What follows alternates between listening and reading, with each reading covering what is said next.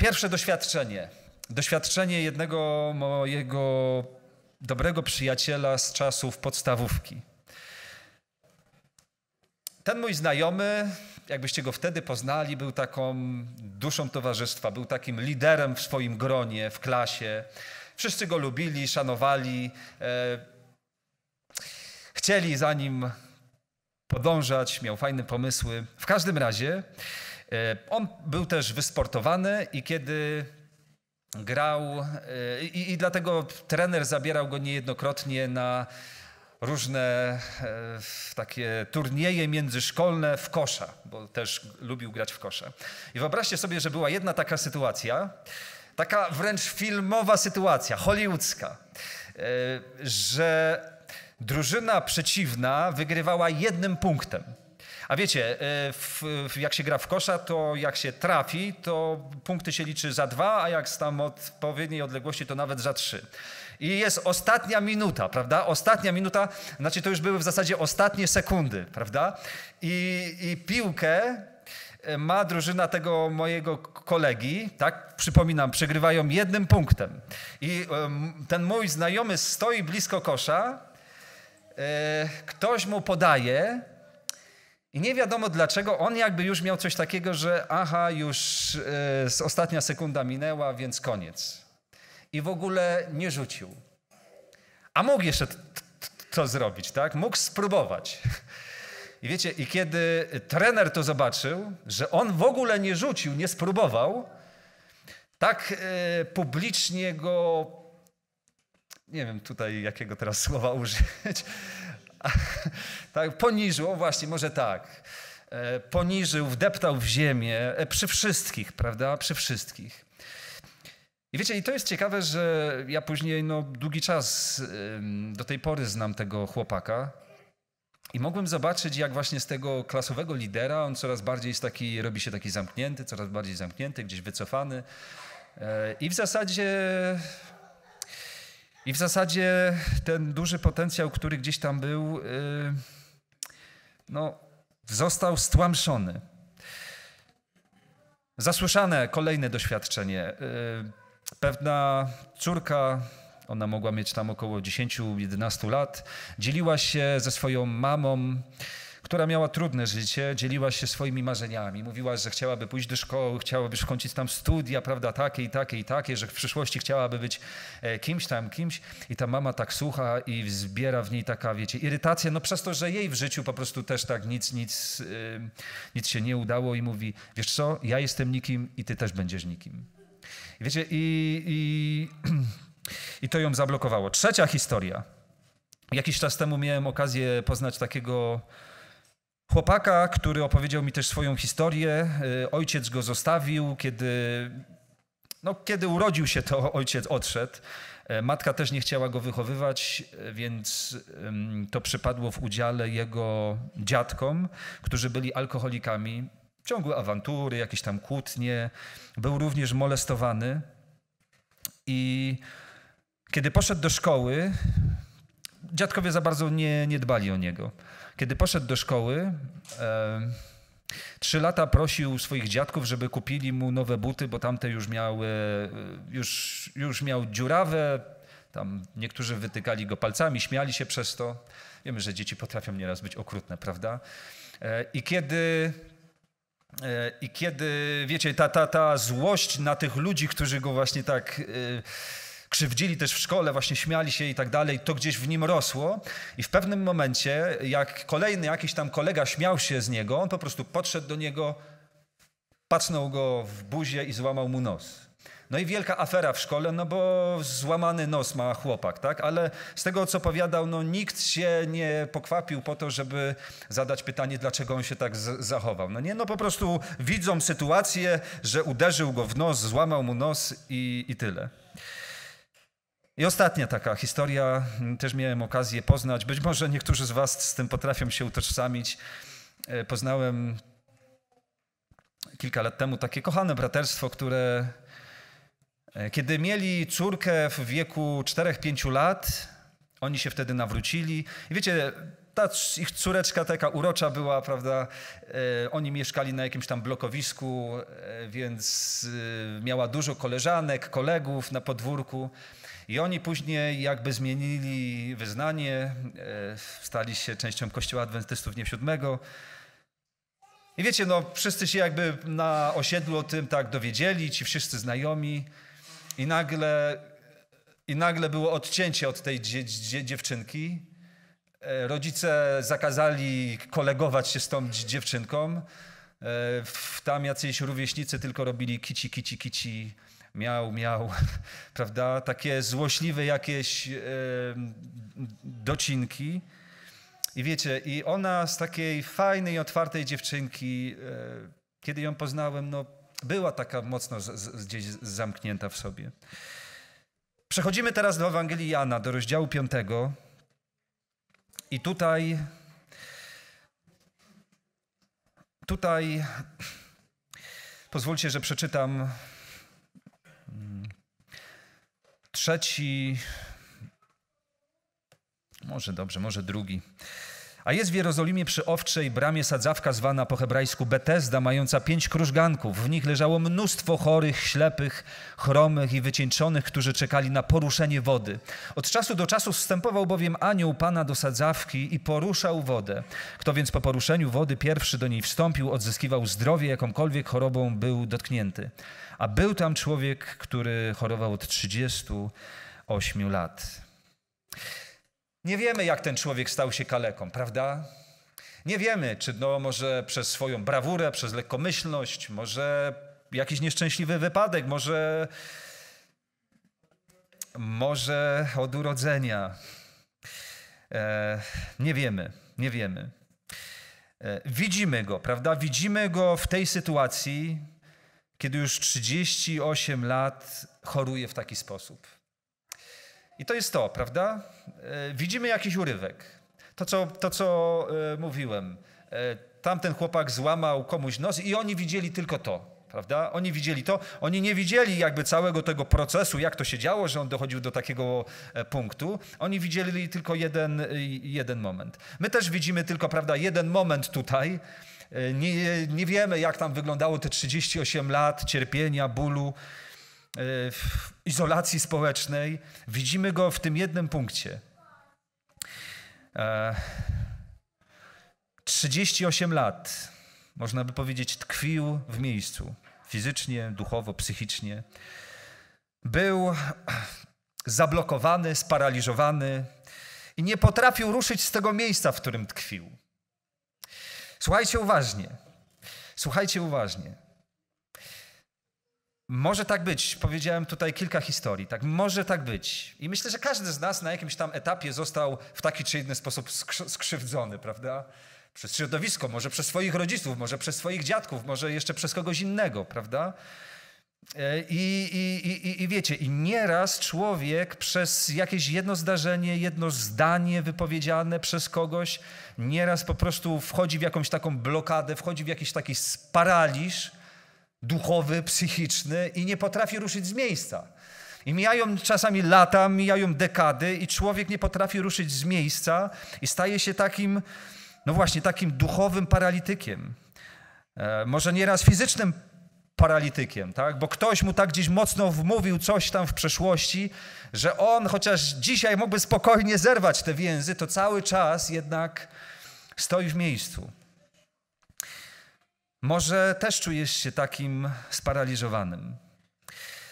E, wiecie, kiedy patrzy się na służbę Jezusa, to można zobaczyć, że niejednokrotnie już bardzo dużo dawało nazwanie tego problemu. Wiecie, ja, ja, z tym moim kolegą z klasy, pamiętam, to już nie wiem, z 10 lat temu, mieliśmy taką rozmowę, mieliśmy rozmowę, zaczynaliśmy. Właśnie ja mu tak wspomniałem, że ty kiedyś byłeś takim, prawda, takim otwartym, takim liderem, prawda? Jak to się stało, że, że ty nagle się tak jakoś zamknąłeś i tak dalej? I wiecie, i on sam tak trochę zaczął analizować to swoje życie, zaczął analizować i mówi: No to chyba był ten moment. On mówi, to chyba był ten moment, kiedy tam ten trener wdeptał mnie w ziemię i po prostu czułem się, czułem się nikim, nie? I niby później, wiecie, no jakby sytuacja się zakończyła i tak dalej, bo to trwało tylko chwilę, ale, ale coś w psychice zostało. paraliż, paraliż został. I wiecie, nieraz e, uzdrowienie zaczyna się od tego, żeby nazwać ten problem. Zwróćcie uwagę, że niejednokrotnie właśnie, kiedy czyta się e, w życiu Jezusa, e, jak uwalniał ludzi, to zaczynało się od nazwania demona. Jezus pytał, jak ci na imię? Prawda? Jak ci na imię? Nieraz rozwiązanie problemu zaczyna się od uświadomienia, uświadomieniu sobie danego problemu, od nazwania, od nazwania danego problemu. E, I to też jest ciekawe, że niejednokrotnie duchowe problemy uwidaczniają się w naszym zdrowiu psychicznym i fizycznym. Kiedy czyta się na przykład Ewangelię Łukasza, rozdział 13, to zwróćcie uwagę, że tu jest taka, taka ciekawa historia. E, dziesiąty werset i kolejne. Nauczał w jednej z synagog w sabat, a oto była tam kobieta od 18 lat cierpiąca, pochylona tak, że zupełnie nie mogła się wyprostować. A Jezus ujrzawszy ją, przywołał ją i rzekł do niej, kobieto, uwolniona jesteś od choroby swojej. I położył na nią ręce i zaraz wyprostowała się i chwaliła Boga. E, I zwróćcie jeszcze uwagę na werset 16 kiedy tam Żydzi mu zarzucają, że co ty robisz w sabat, tak? On mówi, a czy tej córki Abrahama, którą szatan związał już od 18 lat, nie należało rozwiązać od tych pęd w dniu sabatu? Zwróćcie uwagę, że była fizyczna dolegliwość, prawda, że, że była nachylona, w, w, zgarbiona w taki sposób. I oczywiście garba można na różne sposoby yy, prawda, się na, na, nabawić, ale zwróćcie uwagę, że Jezus tutaj bardzo wyraźnie mówi, że szatan ją związał od 18 lat. I on przyszedł, żeby rozwiązać tę pęta, którą którymi szatan związał tą kobietę. Wiecie, jakiś czas temu miałem okazję rozmawiać z jednym naszym bratem. E, I on mi opowiadał trochę e, niesamowitą też e, historię. Opowiedział mi, że pewnego dnia, młody człowiek, on jest w moim wieku, pewnego dnia wstaje do pracy, rano budzi się i chce zawiązać buty, już miał wcześniej problemy z kręgosłupem, ale wtedy to nabrało takiego, takiego bólu, że on nie potrafił zawiązać butów. E, ponieważ jego e, brat jest osteopatą, znaczy tak holistycznie zajmuje się podejściem tam do człowieka, taki fizjoterapeuta, ale, e, ale jakby no nie patrzy tylko na mm, no, patrzy tak holistycznie na, na człowieka. I wiecie, i, i on pojechał do tego swojego brata, czy ten brat przyjechał do niego, żeby, żeby pomóc w tej, w tej sytuacji. I wiecie, i najpierw, e, on mi opowiada, najpierw ten brat gdzieś tam mu masuje te plecy i tak dalej. Później okazało się, że miał ból w plecach, ponieważ tutaj gdzieś było jakieś spięcie. Więc on później zaczął pracować z tym barkiem. Ja nie wiem, jak oni to robią, tak? jak dochodzą z, z jednego punktu do drugiego, ale w końcu zaczął, za, zaczął pracować z tym barkiem. Yy, I później mówi, że bark jakby dlatego bolał, bo, bo też było jakieś napięcie i narządy wewnętrzne były spięte. Więc on, on, mi tak zaczyna opowiadać, więc on go po prostu położył na plecach i zaczął, zaczyna mu masować te wszystkie wnętrzności, prawda, uciskać i tak dalej. I on mówi, i przeszło. I przeszło. E, I ten jego brat mówi, a wiesz dlaczego to było spięte? Bo tu masz spięcie, ale tego ci już nie pomasuje. tak? I wiecie, i, i zwróćcie uwagę, że, że no tak jest, prawda? Nieraz człowiek stres przeżywa przez długi czas e, i, i, i, i, może nie wiązać niektórych rzeczy, ale to nieraz przechodzi po prostu na fizyczne dolegliwości. E, duchowe problemy przechodzą na fizyczne dolegliwości, na psychiczne dolegliwości. I ta, e, ta historia z tą kobietą uzdrowioną w sabat również jakby to przedstawia. I czytamy, że ten mężczyzna, który był 38 lat sparaliżowany, czytamy, że. E, no właśnie, że on leżał przy tej sadzawce. Nie wiemy jak długo. Nie wiemy jak długo. Ale Prawdopodobnie leżał tam dlatego, że miał jeszcze nadzieję na jakąś zmianę, prawda? Miał nadzieję, że coś się zmieni w jego życiu. E, sugeruję, że mógł mieć nadzieję na dwie rzeczy. No pierwsze to oczywiście na cud, że przez wejście do tej sadzawki zostanie uzdrowiony. No i druga rzecz, miał nadzieję, że znajdzie się ktoś, kto w końcu go tam zaniesie, prawda? Jakby miał nadzieję na te dwie rzeczy i chciałbym, żebyśmy tak pokrótce zastanowili się nad tymi jego nadziejami. E, wyobrażacie sobie tą sytuację, mnóstwo chorych, tak? Biblia mówi, że tam było mnóstwo chorych, wycieńczonych, chromych i wszyscy czekają na poruszenie wody. I w pewnym momencie poruszała się woda i wyobrażacie sobie tą sytuację, kiedy woda się porusza? Wyobrażacie, co się tam działo? Przepychanie się łokciami, prawda? Deptanie tych, którzy gdzieś tam mu muszą się czołgać, prawda? E, no, wiecie, nam, na pewno tam nie panowała jakaś uprzejma e, atmosfera, że dobrze, może ty pierwszy. Tylko nie, prawda? Walka na całego i żeby tym razem mi się udało. Jak myślicie, czy, czy Bóg działa w taki sposób? Czy Bóg działa w taki sposób, żeby, że, że, że tutaj takie poruszenie wody robi, żeby później wszyscy przepychali się łokciami, bili się między sobą, kto pierwszy? Wiecie, że czwartego wersetu, gdzie jest napisane od czasu do czasu wstępował bowiem anioł Pana do sadzawki i poruszał wodę. Kto więc po poruszeniu wody pierwszy do niej wstąpił, odzyskiwał zdrowie, jakąkolwiek chorobą był dotknięty. W wielu manuskryptach e, nie ma. I bibliści raczej wnioskują, że to jest późniejszy dodatek, żeby niektórzy może dopisali go, żeby, żeby no, wiadomo było o co chodzi, prawda? Bo to jakby wyjaśnia kontekst. W ogóle e, przeczytam wam fragment z książki Życie Jezu Jezusa, gdzie Ellen White napisała: W pewnych okresach woda w tej sadzawce poruszała się, co wywoływało wśród ludzi przekonanie, Zwróćcie uwagę, że to wywoływało wśród ludzi przekonanie. Ellen White nie pisze, że tak było, ale że to wywoływało wśród ludzi przekonanie, iż jest to wynik nadprzyrodzonej siły i że każdy, kto pierwszy wstąpi do wody w tym czasie, zostanie wyleczony z wszelkich chorób. E, I też właśnie tutaj dodaję, setki cierpiących odwiedzały to miejsce, lecz w okresach, gdzie, gdy następowało zmęcenie wody, tłum tak pchał się do, do przodu, depcząc mężczyzn, kobiety i dzieci, że tratował najsłabszych. Jeszcze raz, czy w taki sposób, czy takich metod Bóg używa, żeby uzdrawiać ludzi? Żeby, żeby, żeby tratować tych, tych najsłabszych? Wiecie, w Biblii...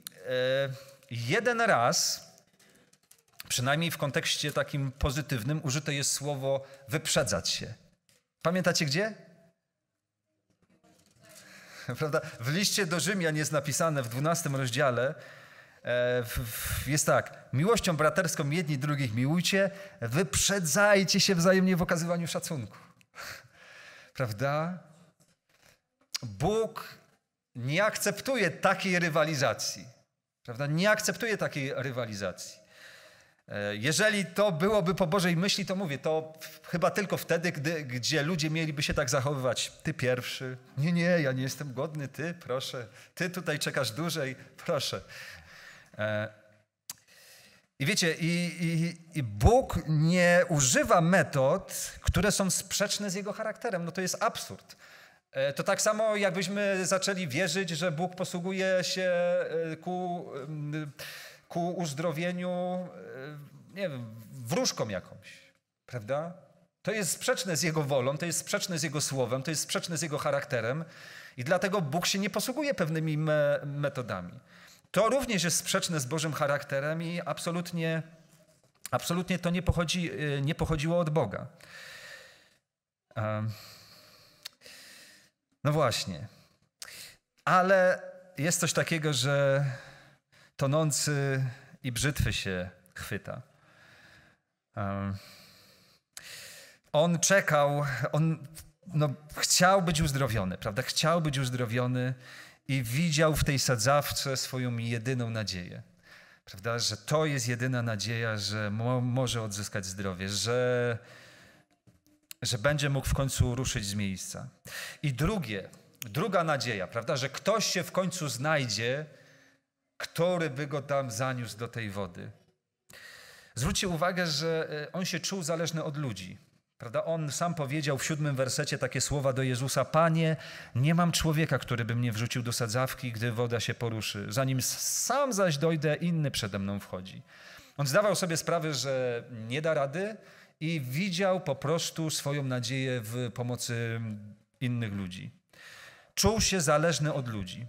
Czuł, że jest skazany na pomoc innych ludzi. Inaczej nie ruszy się z miejsca. Może też nieraz czujemy się zależni od, od innych ludzi. E, ja zdaję sobie sprawę, że czasami no, jesteśmy w takich sytuacjach, gdzie pomoc drugiego człowieka jak najbardziej jest przydatna. Ale słuchajcie, e, czy możemy się tak czuć zależni od drugiego człowieka, że sobie myślimy, on mnie skrzywdził, prawda? On mi na przykład powiedział w dzieciństwie coś takiego, albo tam w, obojętnie w jakim okresie życia. On mi zrobił takie świństwo, więc póki mnie nie przeprosi, to ja, go, to ja mu nie przebaczę.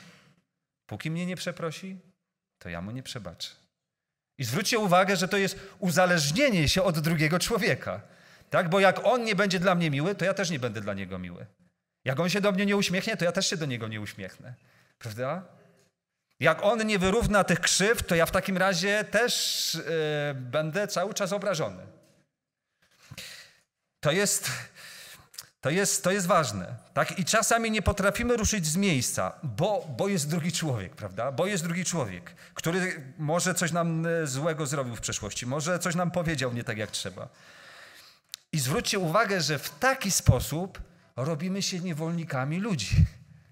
Prawda? W taki sposób robimy się niewolnikami ludzi, bo sprawiamy, że jesteśmy zależni od drugiego człowieka. Ktoś nas zranił, zatruł nas tym jadem, który sam w sobie miał, ale wiecie, ale tak naprawdę to jego problem. Prawda? To on ma ten jad w sobie i ty nie musisz żyć jego jadem. Prawda? Nie musisz żyć jego jadem, który gdzieś tam chciał wszczyknąć w, w, w ciebie. Ty nie musisz żyć jego problemami. To on ma problem, że w taki sposób się zachowuje. Prawda? To on ma problem, że tryska jadem wszędzie dookoła. Ale to nie jest, to nie musi być twój problem. Ty nie musisz być zależny od drugiego człowieka. Drugi człowiek nie ma władzy nad tobą. No chyba, że mu ją dasz. Prawda? No chyba, że mu ją, chyba, że mu ją damy.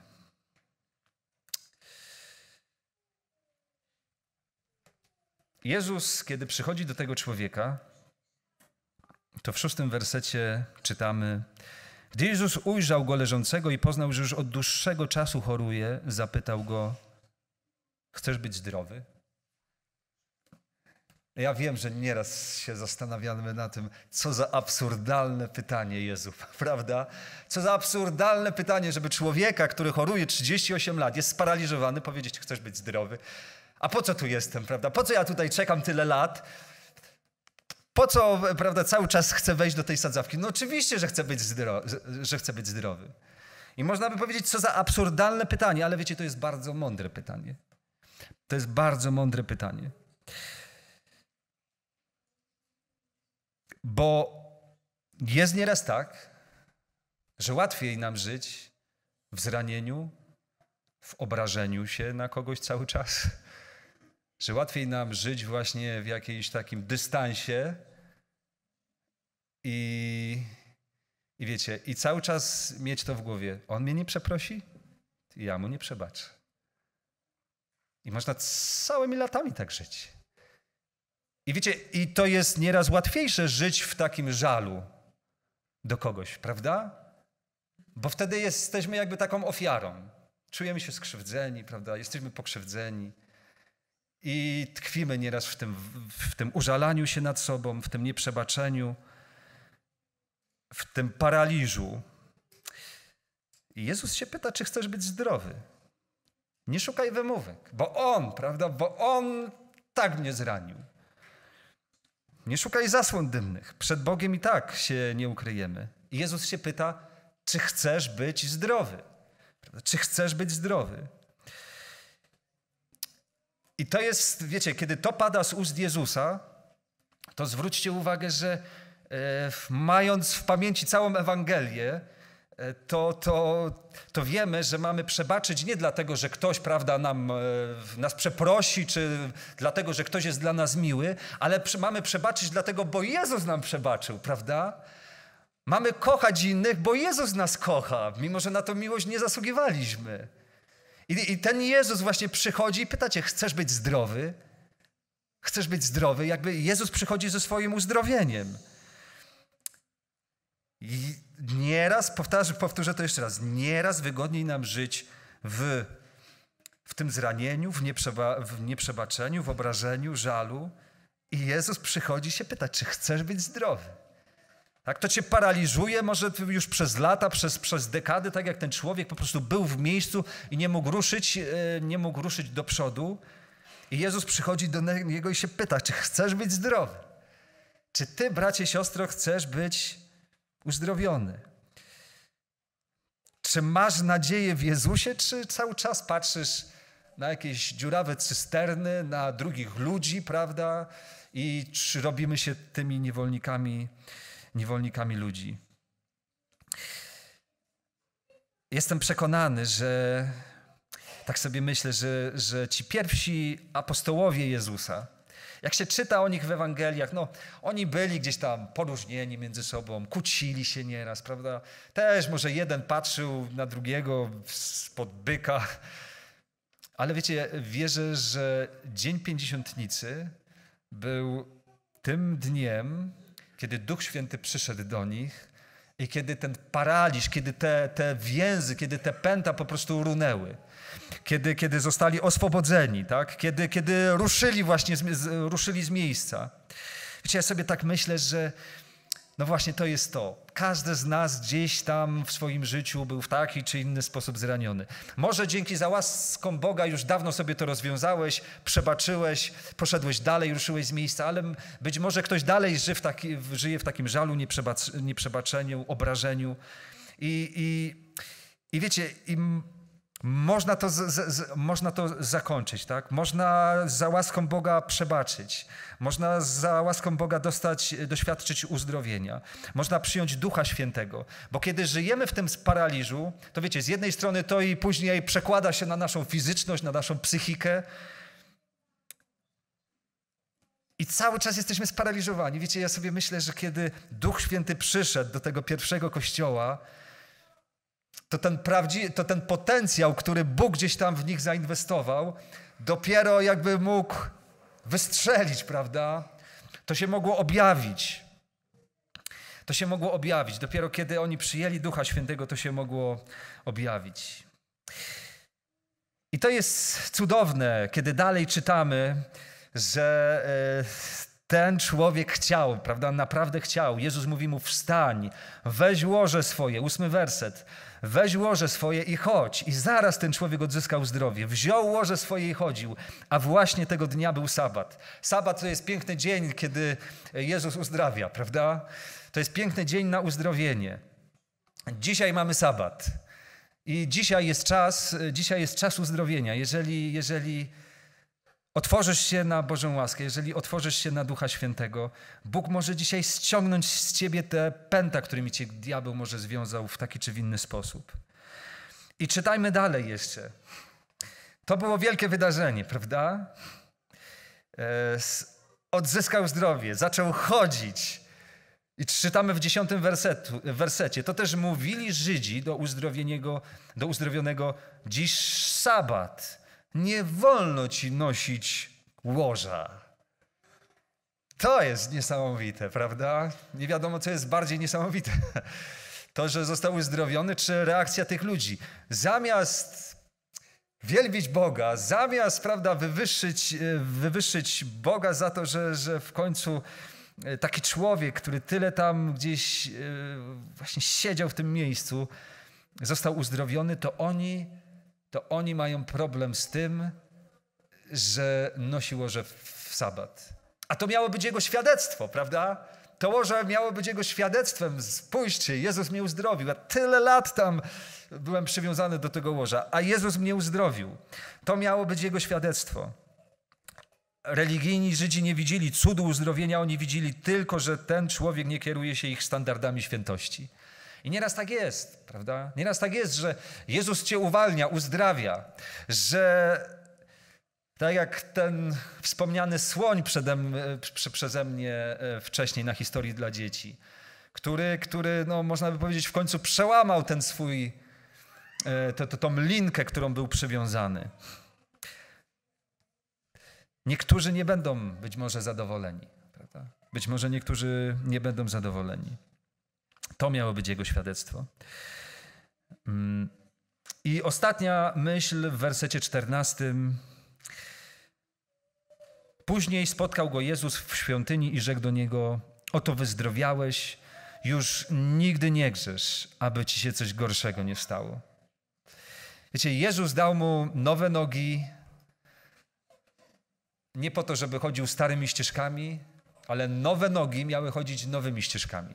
Prawda? Nowe nogi, Bóg daje nam po to nowe nogi, nową szansę, e, nowy start, nie po to, żebyśmy żyli cały czas, chodzili tymi starymi ścieżkami, ale żebyśmy zaczęli chodzić nowymi ścieżkami. Dlatego, kochani, bez względu na to, co Cię spotkało w przyszłości, bez względu na to, jakiego zaranienia doświadczyłeś, e, jak to cię zablokowało, jak to zamknęło cię w sobie, jakiego paraliżu doświadczyłeś i może cały czas w tym żyjesz. Jezus przychodzi i pyta się, czy chcesz być zdrowy? Czy chcesz być zdrowy? Szabat to dzień uzdrowienia. Amen.